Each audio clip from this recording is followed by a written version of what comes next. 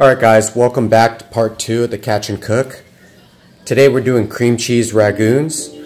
This is an old recipe. It was invented in San Francisco in the 1950s. It's super easy, so let's get started. So the first thing you need is 8 ounces of cream cheese. To that I'm going to add an equal amount of crab meat. And then I'm going to add green onion a little garlic powder,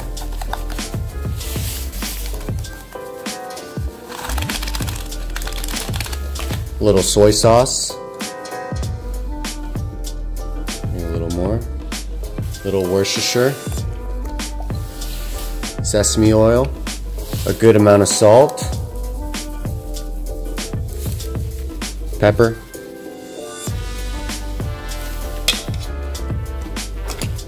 Note how much crab meat that I'm using.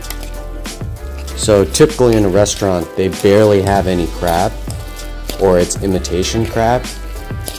And so I'm going the total opposite of that and using half crab and fresh crab.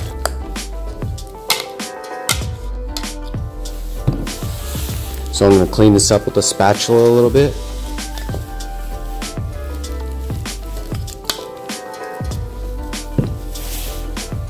Now if you're patient, I'd put this in the fridge for an hour because then it allows the flavors to um, bind together. And it also allows the cream cheese to solidify a little bit so it doesn't, it's not as runny. So let's just add some saran wrap to this. Pop it in the fridge for a little bit.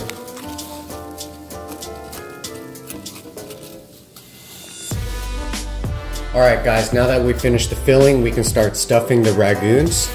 So you need a little bit of water you need your stuffing and you need some of these wonton skins. You can buy them from Safeway or anywhere. I get it. I wet two of the edges. I get a spoonful.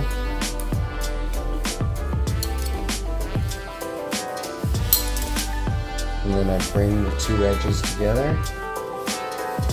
Like that.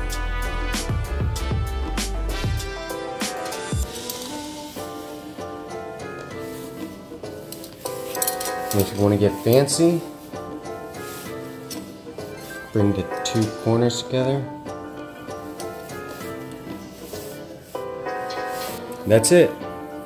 So I'm going to crank out a couple more of these.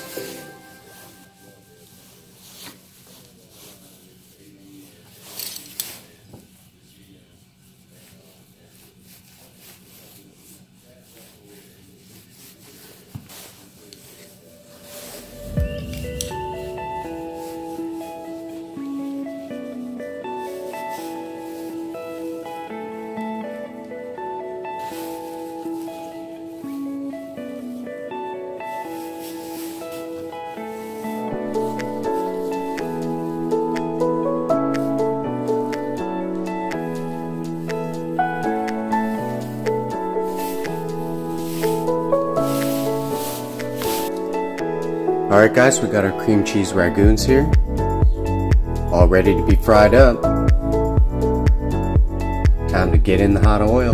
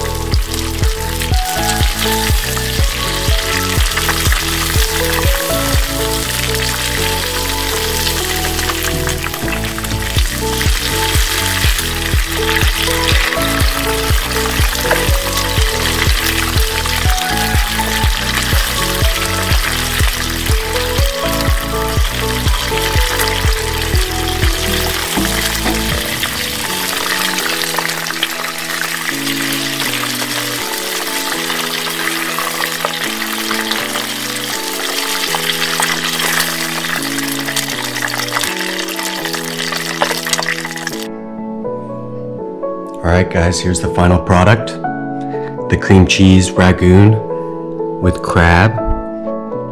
Let's give it a little dip.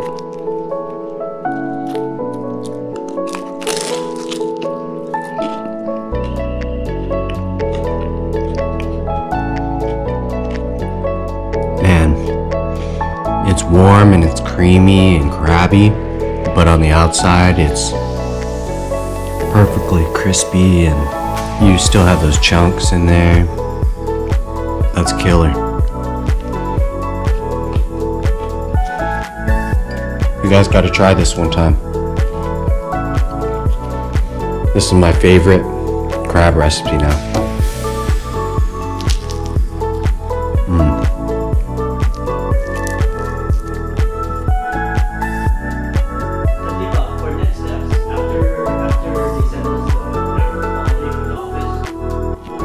You guys want to know what the chili sauce is,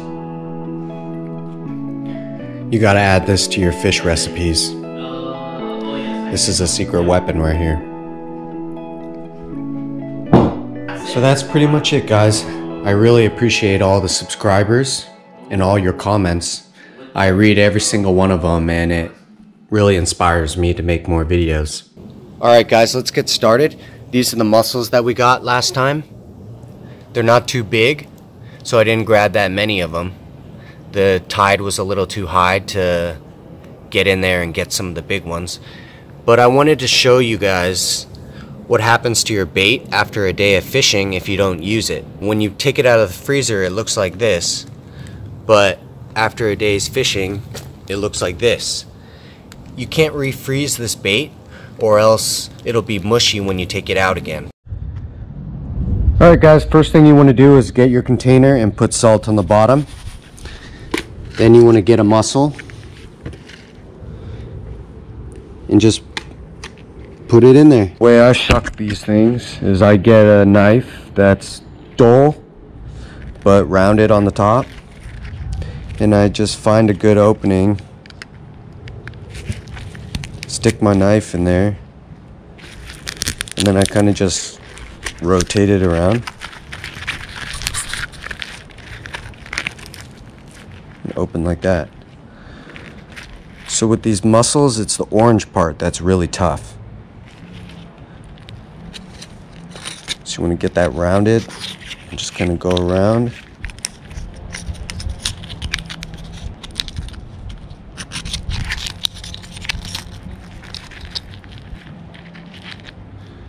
should come off.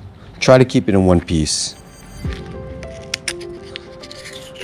So you got one nice piece of mussel for bait right there.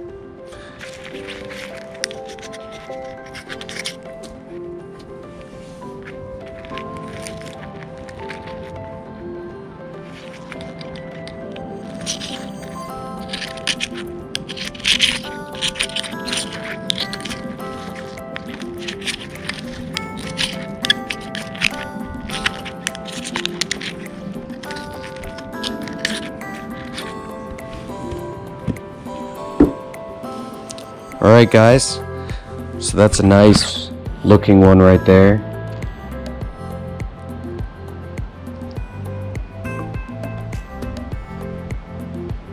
All in one piece. All this orange part is all going to be toughened up pretty soon. And it stays on the hook really well. So when you cast it out, you're not worried about, oh, is my bait still on? Or you know that you have still have bait and you know they like it. So that's why I like using mussel. So once you have a nice layer of mussel going, then you go back to the salt. You put a nice layer of salt over it.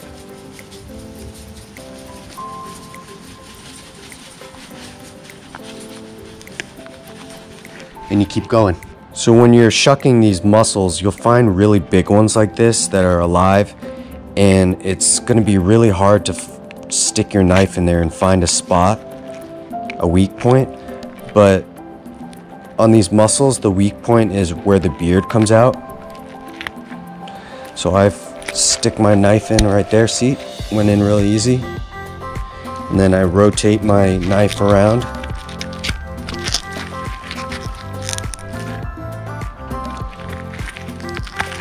And then I just twist my blade.